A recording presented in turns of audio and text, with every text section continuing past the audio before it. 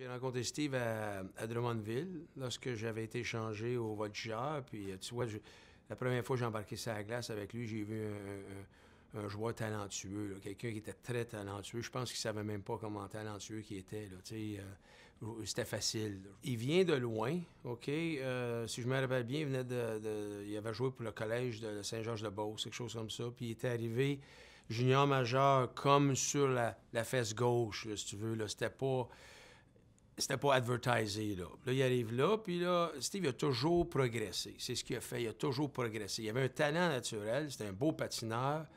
Euh, il avait un bon lancer, etc. Il avait une belle vision, mais il a toujours gradué. Donc, sa première année junior, si je me rappelle bien, je sais même pas s'il a marqué un but, il a peut-être eu un ou deux buts, tout ça. Moi, quand je suis arrivé, l'année que je suis arrivé, je me rappelle bien, offensivement, ça a été euh, plus ou moins.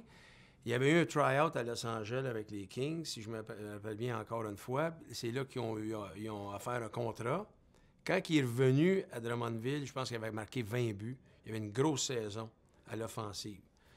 Mais il progressait. Steve Duchesne progressait comme joueur de hockey. C'est un genre qui avait, un talent naturel aussi. Là. Steve, c'était un bon teammate. C'était le genre de gars qui, euh, s'impliquait avec le groupe. Puis, euh, je me rappelle, donc, euh, la première fois quand j'ai été échangé, c'est-à-dire je venais d'arriver à Drummondville, il faisait partie du groupe qui m'ont comme reçu. Là. Tu voyais qu'il était je m'entendais bien avec lui. Euh, il était, un des, leaders du groupe parce que aussi à cause de son talent comme joueur aussi, puis qu'est-ce qu'il apportait, etc.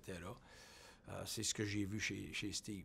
Ce qui était intéressant, c'est que j'avais joué avec Steve pour deux saisons à Drummondville, l'année, je pense, 83, 84, 84, 85, quelque chose comme ça.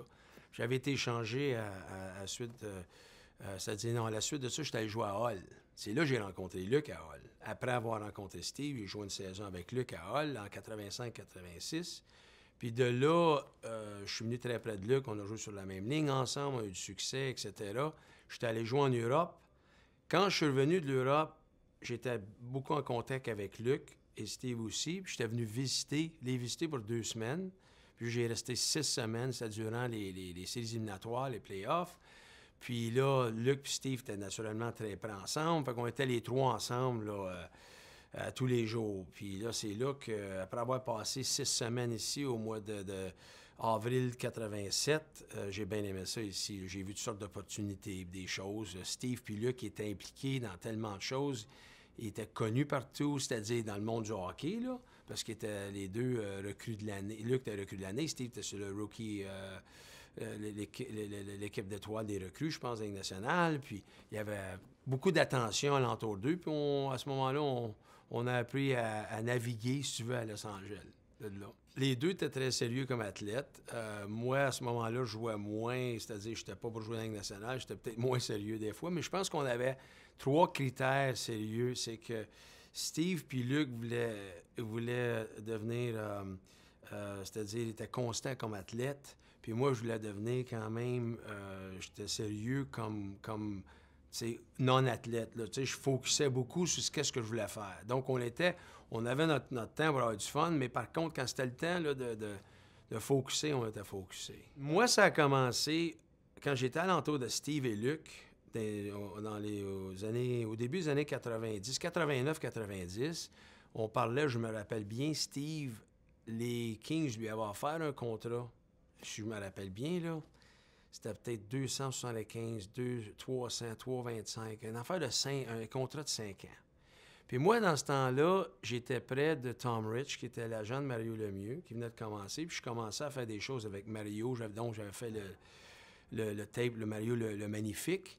Puis aussi, je travaillais avec Luc. Je commençais avec Luc un petit peu. J'avais parlé à Tom. Tom m'avait dit Oh, l'offre est trop longue, il devrait faire euh, plus court. Puis il m'avait je voyais que j'aimais la philosophie, j'aimais ce qu'il me disait, puis j'avais comme donné ça comme idée à Steve.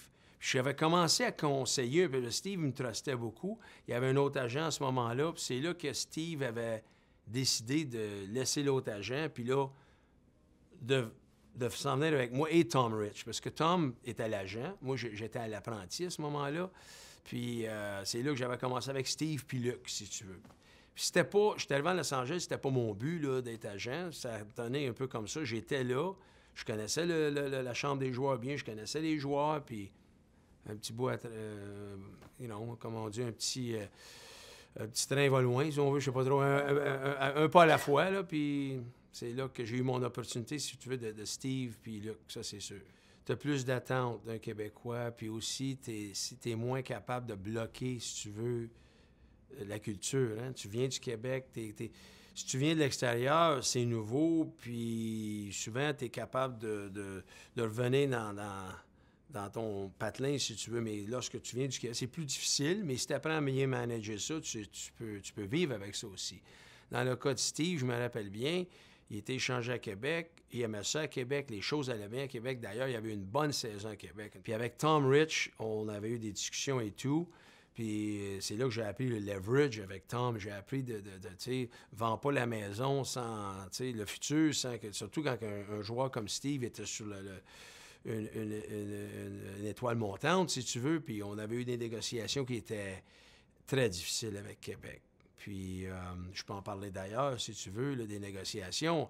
Je me rappelle bien, je pense que Québec offrait à ce moment-là un million par année de salaire, puis on, on cherchait 1,2, quelque chose comme ça. Au Québec, euh, M. Aubu, euh, à, l'époque, ne voulait pas bouger. Puis euh, je pensais qu'il était pour bouger, pour bouger un peu, mais ayant Tom Rich avec moi, qui connaissait les négociations, qui, était comme mon, professeur, ça m'a donné confiance. Puis on a poussé l'enveloppe, poussé l'enveloppe. Puis finalement, pour voir qu'il n'était pas pour bouger, puis on a demandé un, échange. On n'est pas allé public. Puis c'est là qu'ils l'ont changé au Blues de Saint-Louis. Puis, euh, lorsqu'il a été échangé à Saint-Louis, bien là, on a fait une entente tout de suite, je pense que c'était trois ans à 1,4 par année, quelque chose comme ça. On, avait beaucoup plus. Puis même c'était en US, dans ce temps-là, les Nordiques étaient pour le payer en canadien. Je me rappelle bien, c'était pas pareil. Aujourd'hui, tous les contrats sont en, en argent américain. Mais dans ce temps-là, les Nordiques étaient pour nous payer en canadien. Moi, dans ce moment, à ce moment-là, je n'avais pas beaucoup d'expérience. Je commençais, c'était mon baptême des négociations. La raison pour laquelle Steve été capable de s'en sortir de ça, c'est parce qu'il avait joué à Los Angeles, il avait passé du temps en Californie, bien, dans une équipe américaine, puis euh, sachant qu'est-ce que c'était aussi ailleurs aussi. Lorsque, parce que Steve voulait jouer à Québec. Mais la façon dont les négociations du contrat étaient allées à ce moment-là, ils n'ont pas bougé du tout. Puis ils ont viré les négociations vraiment contre lui. Ils l'ont fait parce que la pride d'un joueur, la fierté d'un joueur, il faut faire attention avec ça aussi. Puis on voit moins ça aujourd'hui, mais dans ce temps-là, je me souviens, on s'est reviré contre Steve. Il, veut tout, il n'est pas satisfait de, ce qu'on lui donne, jouer au hockey, c'est déjà bien, puis tout ça. Puis ils ont touché une corde, ils sont allés trop loin, si je me rappelle bien. Puis lorsqu'ils ont touché la corde, bien là, il y avait un point de no return, comme on dit. Um, c'était difficile pour lui de vivre ça. Été bien difficile. Pour ça, d'ailleurs, qu'il ne voulait pas passer trop de temps. Quand il était sur son hold-out, il était ici à Los Angeles. On ne voulait pas qu'il soit à Québec parce qu'il serait fait lapider. Puis c'était pas.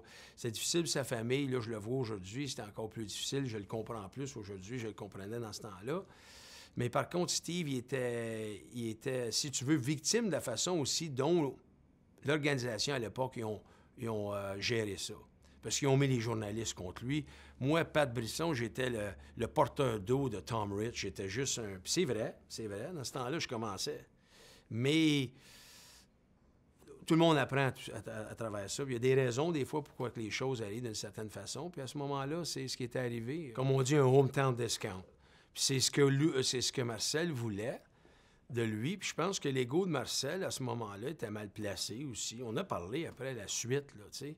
Écoute, je n'étais pas parfait, il n'était pas parfait, mais il y aurait eu une façon de de, de, de, bridger ça. Il y avait une façon. On n'était pas si loin. On était à 150, 200 000 par année canadiens en ce moment-là quand même.